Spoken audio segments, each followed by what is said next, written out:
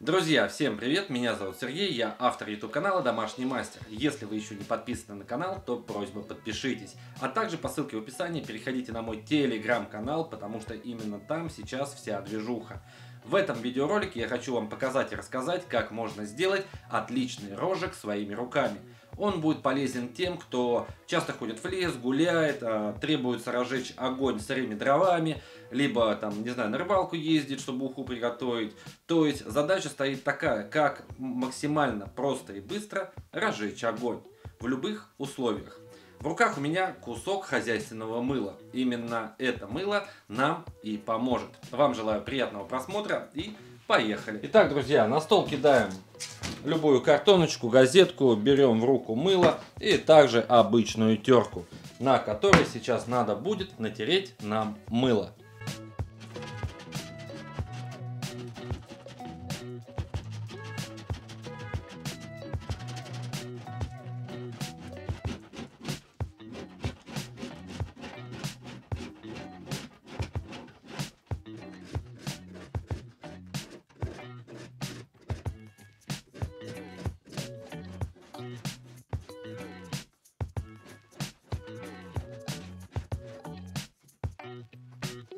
Итак, мыло у нас натерто на терке. Далее мы берем небольшую пластиковую емкость, в которую будет удобно пересыпать и, скажем, сделать нашу смесь. Но в дальнейшем можно взять там вплоть маленькую даже баночку там от йогурта питьевого, чтобы удобно было просто окунать туда щепку.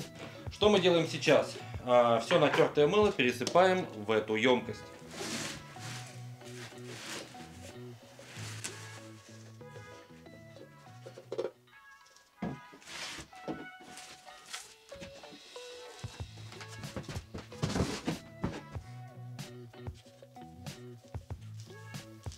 Вот столько у нас протертого мыла получилось. Примерно половина баночки.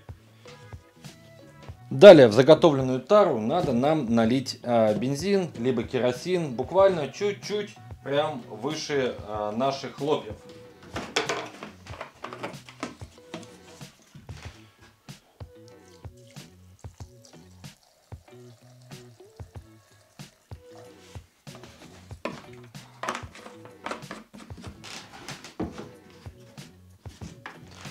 Закрываем крышечкой.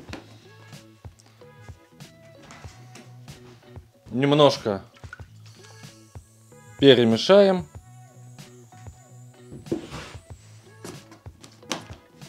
И все это дело оставляем на пару часов.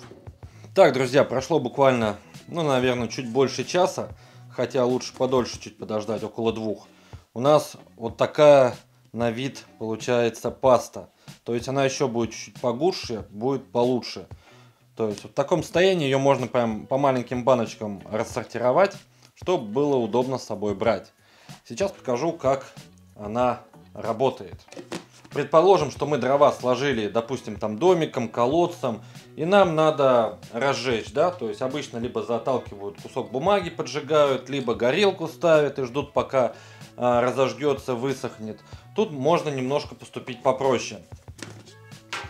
А, выложив костер колодцем, нам достаточно чуть-чуть, прям буквально чуть-чуть, окунуть в нашу пасту.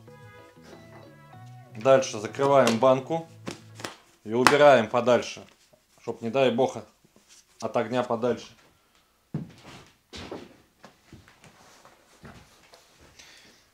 И вот смотрите, как горит эта паста.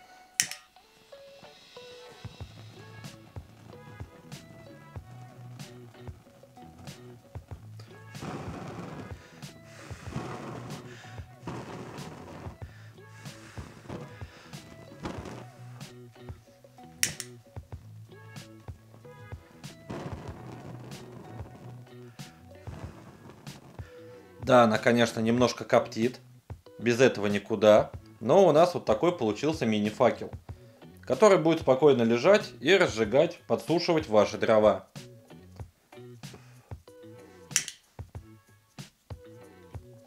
Поэтому, друзья, берите на вооружение, это очень удобно. То есть даже веточки поломал, пусть они даже сырые, чуть-чуть окунул в эту пасту, то есть поджег. И у вас есть а, стартовый такой мощный розжиг который поможет вам а, разжечь ваш костер. Пишите в комментах, пишите вопросы, кто как разжигает свои костры. Поставьте лайк, если тема была полезна и интересна. Подписывайтесь на канал и обязательно пишите в комментариях свое мнение.